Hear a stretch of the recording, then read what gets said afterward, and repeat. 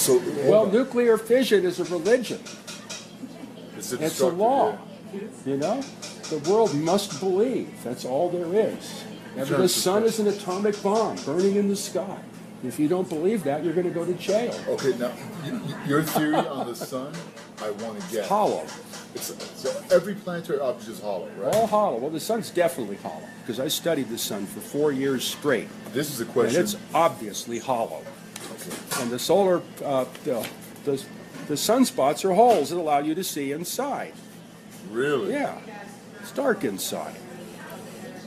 The sun is well understood in, in, in radio physics and studying the ionosphere and sunspots and all that stuff that the sun does not operate by fusion. They do not know how the sun operates. The fusion only comes out of the arcs because of the current density. That's where the hydrogen fusion occurs, is in the actual arcs between the flares. The sun itself is not a fusion device. So the, fusion is in the, in the effect of the It's a converter. Yeah, the sun is a converter from another dimensionality into this dimensionality. And obviously, if you can't if you can't see it in outer space, the conversion's not complete until it hits the Earth's atmosphere or other physical object, and then it finally converts to So- electromagnetic When it hits the ozone layer, it does. Well, the. Earth's envelope.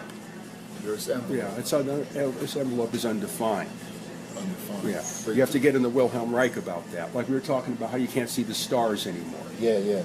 So the sun, you say, it makes its quote unquote energy some through some electrical etheric process. Yeah, because of its voltage, its So- position. Would you call it some kind of etheric lamp?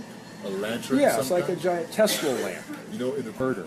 the sun is converted. It's not burning anything. It's- So it's an etheric electrical Yeah, converter. converter. And It's, it, it's converting from primary force to secondary force. And it, it, the conversion is complete once it hits the, uh, the upper atmosphere. Of the Yeah, Earth. then then once the, the emission interacts with physical matter, then it, it reverts to its reduced form, the waste product, which is heat and light and mechanical activity. But it doesn't start off like that, and its origin is undefined because it comes from what people like to say another dimension, Sunsp- counter space. Sunspots are holes inside. They're holes in the hollow sun. There's a photosphere that generates the light, and it's it's contiguous. It's not contiguous. It's little things that move around. Contiguous. Yeah, it's a, it's an arrangement of little glowing spots, and it's dark in between. It's a veil, and and that's where the illumination of the sun originates. Is in that veil. It doesn't come from the inside. There's no nuclear furnace in the middle. There's none of that shit, and that's understood. When I studied this stuff in Sonoma State, that's understood. But they have to continue this popular image that the sun is a nuclear bomb burning in the sky, Scarcity. because that's everything's got to work on destruction. Exactly, burning Right. something. Yeah. Yeah. Like the caloric theory. That's another. Yeah, big lot of whatever. It has to be the laws of thermodynamics. You have to pay. So It you has have to be a meter. If you can't put a meter on it, it's not real. Do you have any respect